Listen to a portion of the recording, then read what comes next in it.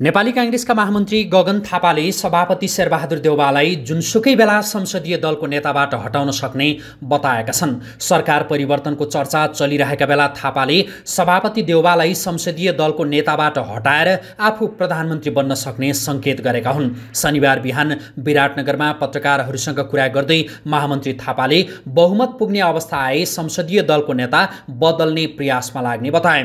यसअघि देउवासँग संसदीय दलको नेतामा प्रतिस्पर्धा गरेर भारी मतले पराजित भएका थापाले पार्टीका सांसदहरूले साथ दिए आफू नेता परिवर्तनका लागि तयार रहेको जानकारी दिए। उनले भने म त दलको नेतामा लडेको मान्छे हुँ। संसदीय दलको नेता देउबा हुनु हुँदैन भनेर प्रयास गरेकै हो। मेरो निरन्तर कोसिस हुन्छ साथीहरूको साथले सार्थकता दिन्छ भन्ने महसुस भएपछि अवश्य प्रयास हुन्छ।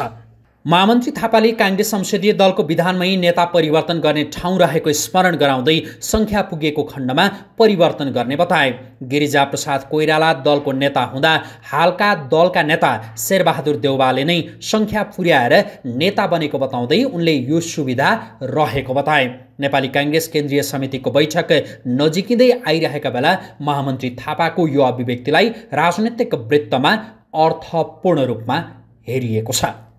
यसैबीच राजनैतिक विश्लेषक डाक्टर उद्धव सिग्दलले यति बेला नेपाली काङ्ग्रेसभित्र यो प्रयास भइरहेको बताएका छन्। आजको प्रेस डट कमसँगको संक्षिप्त कुराकानीमा विश्लेषक डाक्टर सिग्दलले नेपाली काङ्ग्रेसमा गगन थापालाई स्थापित गरेर नेपाली काङ्ग्रेसका सभापति शेरबहादुर देउवालाई विस्थापित गर्ने प्रयास भइरहेको बताएका हुन्। प्रस्तुत छ उनीसँग गरिएको कुराकानीको छोटो अंश। गगन थापाको अभिव्यक्तिलाई कुन रूपमा लिनुभएको छ? के भइरह्यो? यो एउटा स्वाभाविक हो। उनी जसरी चाहिँ आए जसरी उनको चाहिँ राजनीतिक चाहिँ बढ्दै गयो त्यो केन्द्रीय सदस्य महामन्त्री त्यसपछि गएर अल्टिमेट गोल भनेको उनको प्रधानमन्त्री हो। प्रधानमन्त्रीको हुनको लागि चाहिँ उनले हरेक किसिमका चाहिँ हत्कण्डाहरू गर्ने नै छन्। त्यो अन्तर्गतको एउटा हत्कण्डाको रूपमा पनि लिइन्छ र एउटा स्वाभाविक प्रक्रिया पनि हो। अहिले सम्भव छ काङ्ग्रेस सभापति शेरबहादुर देवाललाई संसदीय दलको नेताबाट हटाएर गगन थापा संसदीय दलको नेता बन्न सक्ने?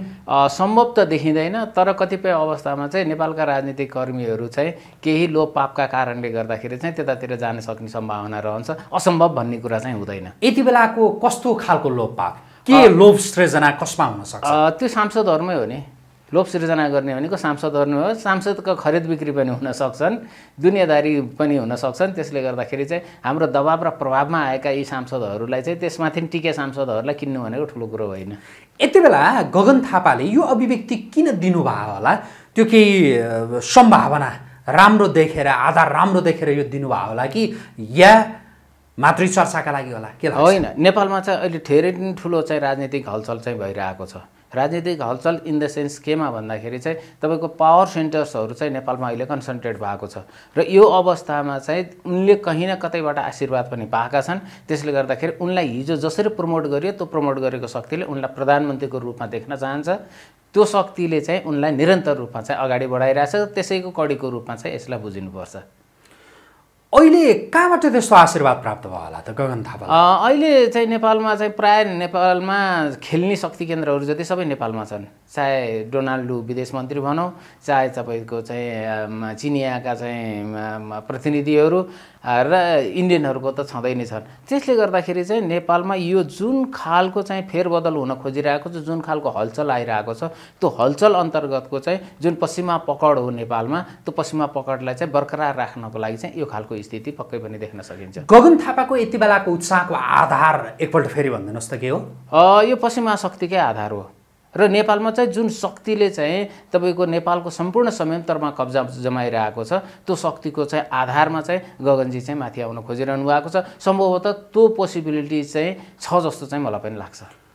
पश्चिमा शक्तिले यति बेला के गरिरहेछ र त्यस्तो उत्साहित हुनुपर्ने? गगन थाहा होइन पश्चिमा शक्तिहरू के गरिरहेछ भन्दाखेरि पश्चिमा शक्तिहरूले लामो समयदेखि नेपालको सम्पूर्ण राज्य संयन्त्रमा चाहिँ एक खालको पकड पकड र प्रभुत्व जमाउँदै आइरहेको छ।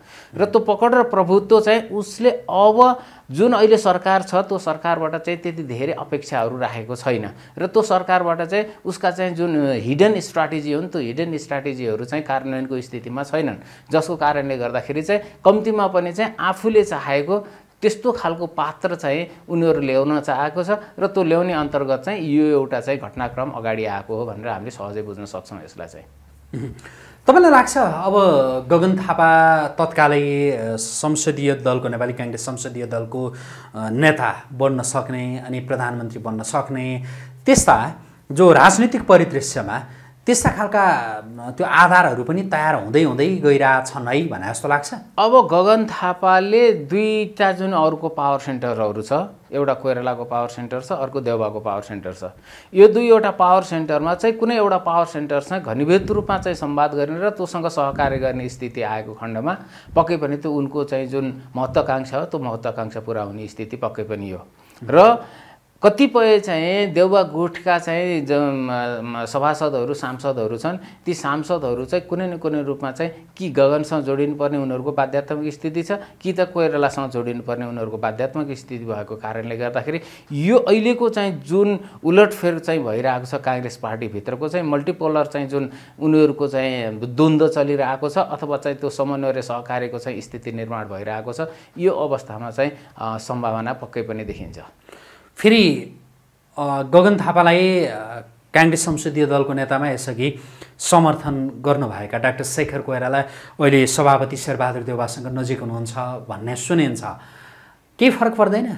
यस्तो छ नजिक भनेर चाहिँ त्यस्तो नजिक होइन कि केही कुराहरूमा सहकार्य हुनसक्छ होइन भने त्यति दुईवटा त प्रतिस्पर्धी हुन् नै पार्टीभित्रका। त्यसले गर्दाखेरि उनीहरूले पनि आफ्नो राजनीतिक अनुकूलताको लागि चाहिँ यदि गगनलाई प्राइम मिनिस्टर बनाउँदै गर्दा शेखर कोइरालाई चाहिँ बेनिफिट हुन्छ भने शेखर कोइराला गगनलाई प्राइम मिनिस्टर बनाउनु पनि राजी हुन्छन्। शेरबहादुर देउवाले पनि भोलि पार्टीको चाहिँ राजनीतिक चाहिँ भविष्यलाई चाहिँ हेर्दै गर्दाखेरि गगनलाई प्राइम मिनिस्टर बनाउन सकिन्छ भने प्राइम मिनिस्टर बनाउनको लागि पनि चाहिँ उनका सांसद अथवा दोस्रो तेस्रो तहका नेताहरू पनि जान सक्ने स्थिति स्थिति हुन्छ। त्यसले गर्दाखेरि सबैले आफ्नो चाहिँ फाइदा हेरिरहेको छ। त्यो आफ्नो फाइदा हेर्दै जाने क्रममा चाहिँ गगन थापाले त्यसलाई कति क्यास गर्छन् भन्ने मात्रै हो। नेपाली काङ्ग्रेसभित्र नि शेरबहादुर देउवालाई हटाएर गगन थापालाई पश्चिमाहरूले संसदीय दलको नेता त्यो बनाउन चाहिरहेछन् त्यो उनीहरूको चाहना त्यो छ भन्ने आशयको जुन विश्लेषण आएको रह्यो। शेरबहादुर देउवालाई किन पश्चिमा शक्तिले चाहँदैन त यति बेला? र गगन थापालाई चाहन्छ। शेरबहादुर देउवा अब पुरानो भइसक्नु भएको छ। र गगन थापा र शेरबहादुर देउवामा चाहिँ दुई भिन्नताहरू छन्। र यी दुवै चाहिँ दुइटैले आफूलाई चाहिँ प्रो अमेरिकन भन्न चाहन्छन् र त्यो एक्स त्यो रूपमा चाहिँ उनीहरू एक्सपोज गर्दाखेरि उनीहरूले आफूले आफैलाई गौरवान्वित पनि ठान्दछन्। तर शेरबहादुर देउवा भनेको चाहिँ तपाईँको पश्चिमाहरूको नै विशेष गरेर अमेरिकनहरूको चाहिँ जुन स्टेट क्राफ्ट छ नि बाहिर देखिने जुन स्टेट क्राफ्ट छ त्यो स्टेट क्राफ्टसँग उनको चाहिँ नजदिकीपन हो। तर गगन थापाको चाहिँ नजदिकीपन भनेको स्टेट क्राफ्ट मात्रै नभइकन चाहिँ त्यहाँको जुन डिप स्टेट छ त्यो डिप स्टेटसँग चाहिँ उनको चाहिँ सम्बन्ध र सहकार्य पनि चाहिँ बेसी नै भएको कारणले गर्दाखेरि अमेरिका लगायत चाहिँ संसारभरि जति पनि चाहिँ अमेरिकाको प्रभुत्व रहेका चाहिँ राष्ट्रहरू छन् ती प्रभुत्व रहेका राष्ट्र राष्ट्रहरूमा चाहिँ त्यहाँ डिप स्टेटकै रोल भयङ्कर महत्त्वपूर्ण हुने भएको कारणले गर्दाखेरि चाहिँ गगन थापालाई चाहिँ अब डिप स्टेटले अगाडि लिएर आउनु खोजिरहेको छ। रादर देन द अमेरिकाको चाहिँ जुन मूल संस्थापन राज्य देखिन्छ त्यो मूल संस्थापनभन्दा डिप स्टेट चाहिँ त्यहाँनिर महत्त्वपूर्ण देखिएको कारणले गर्दाखेरि गगन थापाको सम्भावनालाई चाहिँ सहज रूपमा चाहिँ हामीले त्यसलाई हेर्नुपर्ने हुन्छ। यदि हामीले चाहिँ अमेरिकन चाहिँ राजनीति अमेरिकन स्टेटलाई चाहिँ यदि हामी बुझेका छौँ भने गगन थापाको चाहिँ यो जुन एउटा उचाइ बढ्दै गइरहेको छ। यसमा चाहिँ शेरबहादुर देउवाभन्दा गगन थापालाई चाहिँ बढी विश्वास गर्ने स्थिति चाहिँ निर्माण भएको छ। यो अगाडिको संसदीय दलको निर्वाचनमा जो यही पछिल्लो पटकै भनौँ है यो संसदीय दलको निर्वाचनमा भारी मतले विजयी हुनुभयो शेरबहादुर देउवा। उहाँलाई भारी मतले विजयी गराएका ती सांसदहरू एकाएक गगन थापातिर युटर्न होलान् र अहिले तपाईँले अघि लोभको कुरा गर्नुभयो? होइन राजनीतिक स्वार्थका हिसाबले हेर्दै जाँदाखेरि चाहिँ मान्छेले जहिले पनि आफ्नो राजनीतिक भविष्य हेर्छ। देउबासँग टाँसिँदै गर्दाखेरि राजनीतिक भविष्य बनाएकाहरू अब देउबाबाट पार लाग्दैन भने अर्को राजनीतिक भविष्यको लागि अर्को नेताको पछि लाग्नलाई चाहिँ केही छेडभर पनि लाग्दैन। त्यसले गर्दाखेरि कति बेलै पनि ती सांसदहरू चाहिँ किताकाट हुन सक्छन् भन्ने कुराहरूमा चाहिँ त्यति धेरै अनुष्ठ मान्नु पर्दैन।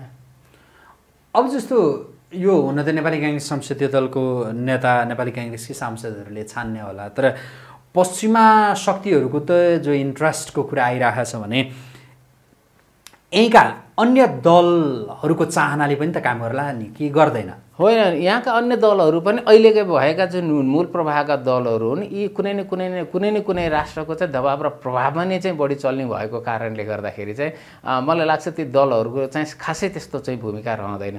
आज साँच्चै नै निर्णायक रूपमा चाहिँ नेपाली काङ्ग्रेस चाहिँ प्रस्तुत हुँदै गर्दाखेरिमा चाहिँ अरू दल सहयोगीको रूपमा चाहिँ नेपाली काङ्ग्रेसलाई सहयोग गर्नलाई चाहिँ आउने भएको कारणले गर्दाखेरि नेपाली दल नेपाली काङ्ग्रेसमा चाहे शेरबहादुर देउवा संसदीय दलको नेता हुन् चाहे गगन थापा हुन् चाहे शेखर कोइराला हुन् यहाँलाई चाहिँ यसभन्दा अगाडिको संवादमा पनि मैले भनेको थिएँ कि नेकपा एमाले चाहिँ काङ्ग्रेसलाई चाहिँ सरकारको नेतृत्व गरेर चाहिँ सरकार बनाउनलाई त अफर गरिरहेको छ नि त। त्यहाँबाट गगन थापा भयो भने केही फरक पर्दैन शेखर कोइराला भयो भने केही फरक पर्दैन। त्यस कारण चाहिँ त्यो आन्तरिक चाहिँ जुन सहकार्य हो त्यो आन्तरिक सहकार्य भने सामान्य रूपमा चाहिँ अगाडि बढ्दै जान्छ।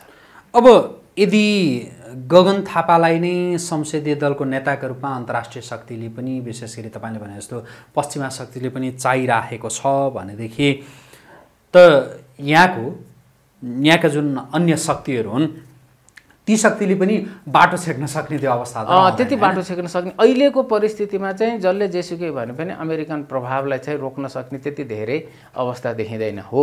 अहिलेको चाहिँ जुन पछिल्लो अहिलेको जुन सरकार छ पुष्पकमल प्रचण्ड नेतृत्वको त्यो सरकार कहीँ न कतै चाहिँ थोरै भए पनि दक्षिणा झुकाव भएको भएको कारणले गर्दाखेरि चाहिँ जुन खालको चाहिँ आलोचना उनले चाहिँ खेप्नु परिरहेको छ त्योले त्यसलाई हामीले अब्जर्भ गर्दै गर्दाखेरि के कुरा स्पष्ट हुन्छ भन्दा पश्चिमाहरू चाहिँ त्यति धेरै खुसी छैनन् अहिलेको सरकारसँग। त्यस कारण पश्चिमाहरू चाहिँ नेपालमा सरकार परिवर्तन गर्न चाहन्छन् र त्यो पनि नेपाली काङ्ग्रेस र गगन थापाकै नेतृत्वमा चाहिँ बनाउन चाहन्छन् भन्ने कुराहरूमा त्यति धेरै दुविधा छैन।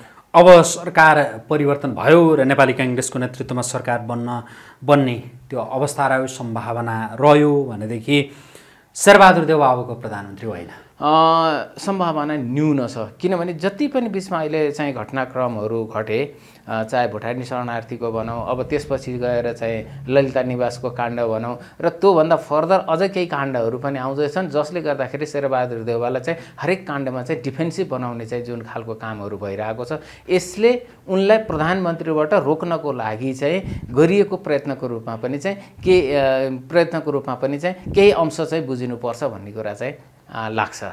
हुन्छ।